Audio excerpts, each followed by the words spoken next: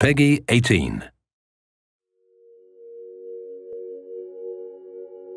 Otherside Entertainment is a, uh, an independent development studio created to further the work of studios like Looking Glass and uh, Junction Point uh, and uh, Ion Storm, uh, where we pursue the uh, art of the immersive simulation. These original games were very innovative for their time, uh, introduced and pioneered some new game design, new technologies, and that's really the spirit that we're carrying forward with Other Side to continue to innovate and push forward these genres.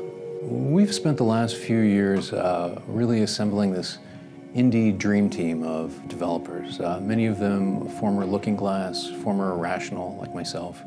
Uh, it's a uh, it's a it's a small, scrappy indie team, and we're tackling a genre that's hundreds of people generally work on. Uh, we're able to do that because of the, the talent and the experience of the team. Underworld's a fantasy game and set in a classic high fantasy uh, setting, the Stygian Abyss, which is a vast volcano. Um, and so you explore in a dungeon crawl-like way the underworld, but in a, in a first-person, very immediate feel. Uh, the term that we use most often to describe the kind of game is an immersive simulation. An immersive simulation is a game that removes as many barriers to belief that you're in an alternate world as possible. Uh, the idea is to create systems and rules that players can exploit however they want to interrupt the experience as little as possible uh, and in as unobtrusive ways as possible. We really want it to be create uh, uh, a gameplay where if you yourself were this fantasy character and in the Stygian abyss, the things you might creatively come up with to try to solve challenges would work. The game is not about, you know, uh, uh, trying to optimize and do the best possible playthrough. You get rewarded for trying different solutions and often coming back to, say, a quest or the same location and saying, well, last time I just fought my, my way through, there's, you know, 10 other ways, you know, 50 other ways I could have approached it. Let me try some different things out. Open world games tend to simulate a world that's an inch deep and miles wide. If you scratch just below the surface of the simulation, you, you don't find much, frankly. In games like Underworld Ascendant, we're doing something different. We're simulating a world that's an inch wide and miles deep, where within the confines of a smaller world, you interact with a much deeper simulation. Every time you come into an environment, things will be markedly different. Uh, different challenges, different opportunities. Uh, sometimes when you come in, uh, you'll see a deep slug, a useful deep slug, uh, which has a flammable trail.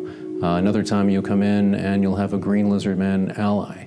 Uh, the environment's also changing as far as movement options. Sometimes you'll come in and the outcast tribe has set up uh, uh, platforms in certain areas, and other times they'll be torn down. So we're focused more around uh, jump in, have a fairly, you know, intensive you know, uh, session where you, you can do a quest, and then if you want to do another quest and another quest, you can you can continue to do that. There's a lot more sort of replay and coming back and revisiting things. Fans will also find uh, that they're immersed in a world that is somewhat familiar.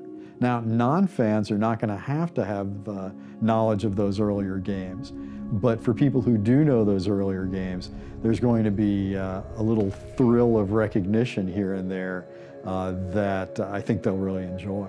Uh, not only uh, one of our main characters, Cabirus, who is voiced by Stephen Russell, who is Garrett in Thief, uh, is a major character from the series backstory. Uh, there are also some ties that are a little deeper and a little harder to find. The, the spirit uh, uh of the original uh, Underworld was really to innovate and try something new that other people hadn't been doing.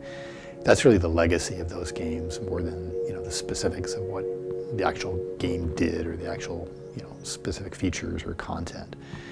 And so, you know, to me, it's, it's that's the legacy that you know we're, we're respecting, honoring the most is continuing to innovate, uh, see where we can move this genre forward. And it's a lot of fun.